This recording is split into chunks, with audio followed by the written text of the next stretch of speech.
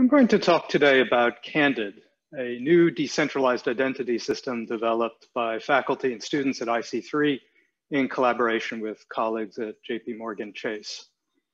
CanDID takes aim at two of what we regard as the knottiest problems involved in making decentralized identity a reality. I'll talk about those, but first I just want to talk about very briefly about what decentralized identity is. Many of us have had the experience of opening a financial account online. Often that involves validating your identity by means of a video. You show your face, and in front of your face, you hold up an identity document, like a driver's license or a national ID card. But you don't do it like that because then you're covering essential information on the identity document. And no, you don't do it like that because then you're covering your face. You don't want to do that. Yes, you do it exactly like that, hold still. Or you might do it like this. The point is that this process is awkward and cumbersome and vulnerable to fakery. It's also error prone. Decentralized identity aims at solving these problems and a few others I'll talk about later. The basic idea is as follows. If a user wants to obtain an identity document, what she does is generate a key pair, public key and private key. She then goes to an authority known as an issuer who will send her a digital version of her identity document bound to her public key. Now, if the user wants to prove her identity or prove various things about herself, our user Alice here, for instance, might want to take out a loan and therefore needs to prove she's at least 18 years of age and maybe lives in a particular state, and so on and so forth.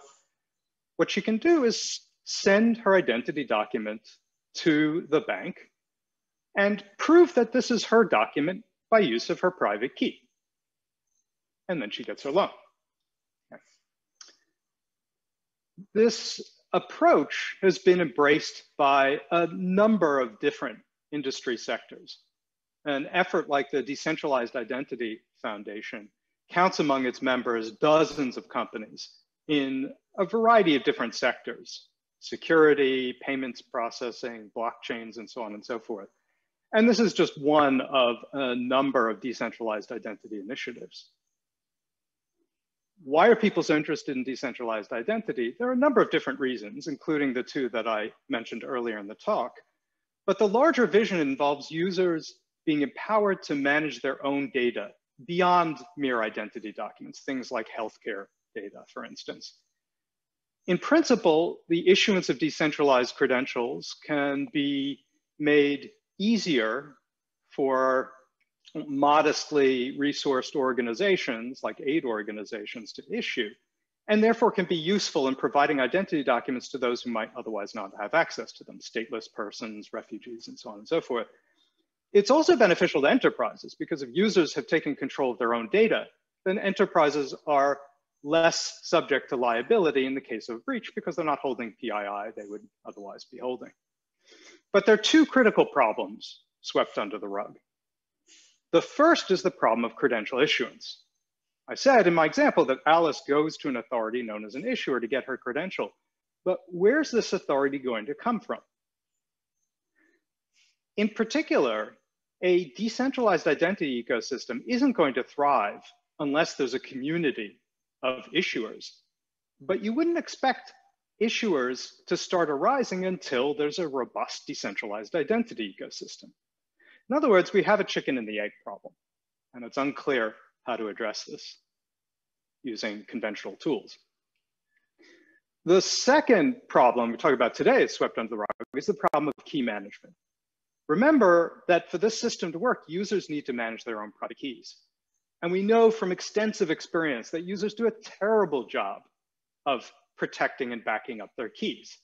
Just one data point. It's estimated that some 4 million Bitcoin, worth over $40 billion, at least I last check, have been lost forever, gone up in smoke because users have lost their private keys.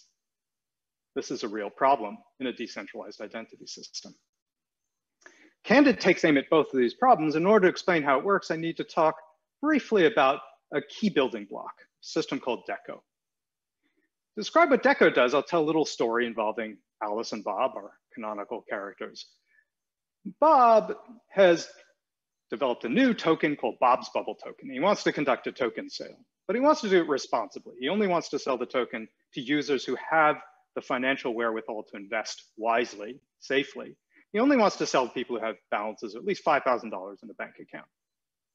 Alice wants to participate, so she looks up her bank account balance, and lo and behold, she has more than $5,000, which is great. So she goes to Bob and says, I qualify to buy your tokens. Bob's response, of course, is, great, can you prove it? How's Alice gonna prove this? She could send a screenshot of her bank account balance, but of course that can be tampered with. She can basically declare whatever balance she wants.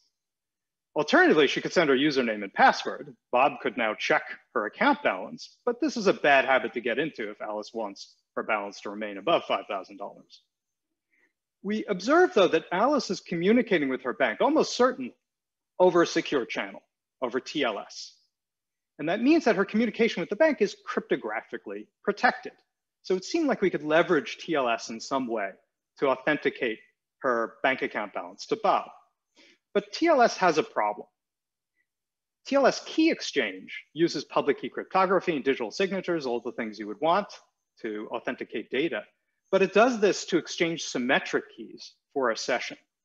In other words, when data is sent from the server to Alice, it's protected using a key that Alice also has. That means that Alice can essentially forge data coming from the server. So forwarding information to Bob would be no better than sending him a screenshot, in effect. What DECO does is allow Alice to log into a server using TLS and then prove things in zero knowledge to another party like Bob about the data she gets from the server. But wait a minute, didn't I just say on the previous slide that TLS can't do this because of the use of symmetric keys? I did, but DECO sidesteps this problem using a trick that we refer to as a three-party handshake. Obviously, I'm not going to have time to get into the details, but I want to convey the intuition to you at least. And I'll talk about Alice and Bob now in terms of prover and verifier roles. Here's the idea. Alice and Bob, when interacting with the server, use TLS, conventional TLS, but they generate a shared key for the session. The server has this key K, but neither Alice nor Bob individually has it. Each of them has a share of this critical key. Because they've shared it, they can do things like decrypt data for Alice. But Alice does not know the key K herself, so she can't unilaterally forge data from the server. In collaboration with Bob, though, she can prove things in zero knowledge. And we do this using two-party computation. Again, I won't have a chance to get into the details.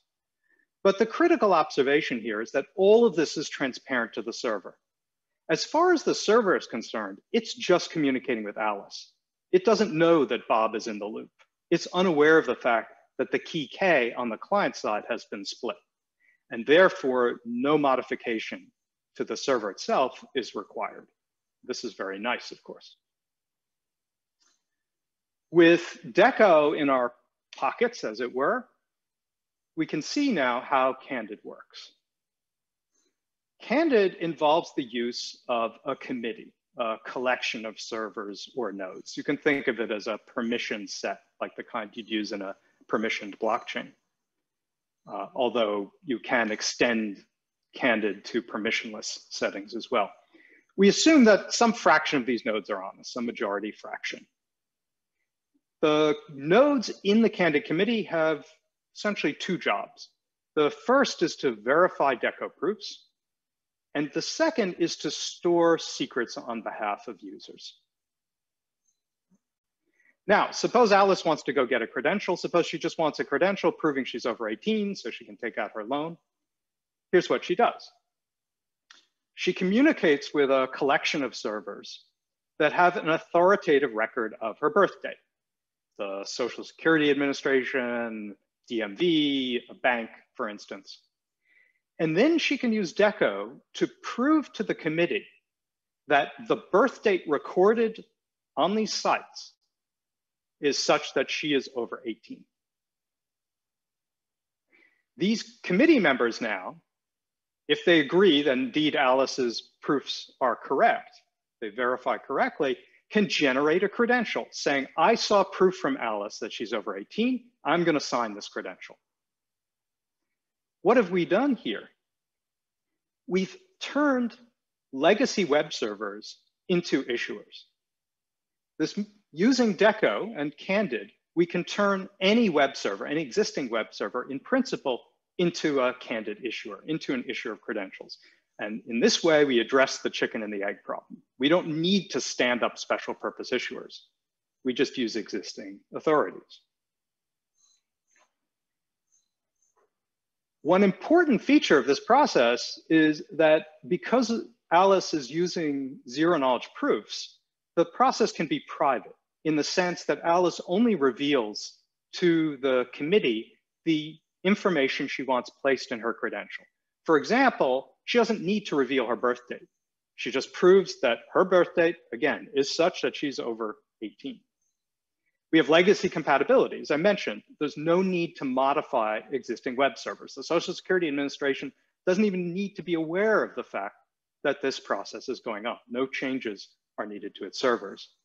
And because we can draw on essentially any existing website that's TLS enabled, HTTPS enabled, which is most of them these days, we can generate a wide variety of credentials or attestations using these techniques. That addresses the problem of credential issuance. We also have this problem of key management. Remember, I mentioned that users are prone to losing their keys. How do we address this problem? The key management approach taken in DECO actually looks very much like the credential issuance process. What Alice does, our canonical user here, is store her private key with the committee. And she can do this in a secret shared way so that no individual node has access to her key but collectively, the nodes in the committee know her key. And they can reconstruct it on her behalf. Then Alice registers a bunch of accounts on providers of her choice. And now if she loses her key, what she can do is go to the committee and prove using DECO that she can log into these pre-designated accounts. And so she provides a proof that she has successfully authenticated to these accounts that are bound to her key. The committee verifies these proofs, and if everything checks out, they can provide Alice with her key. Again, because the key is secret shared, in at no time do nodes in the committee individually gain access to her key. Now, we could in principle use OAuth to do exactly the same thing. The reason we don't advocate for this in CanDID is that OAuth has some disadvantages with respect to privacy. In particular, an OAuth token will leak a user's identity with the target website, an identifier, which can often be converted into a real world ident identity. So with the use of OAuth, there's the risk that Alice betrays her real world identity to the CanDID committee, clearly something we don't want. So I'll wrap up there a little early. If you're interested in learning more about DECO or CanDID, I'd encourage you to visit my website where you'll find two papers, uh, one on DECO, which is going to appear in ACM CCS later this year, and another on CanDID, which was recently accepted to IEEE Security and Privacy and will appear middle of next year. Thank you very much.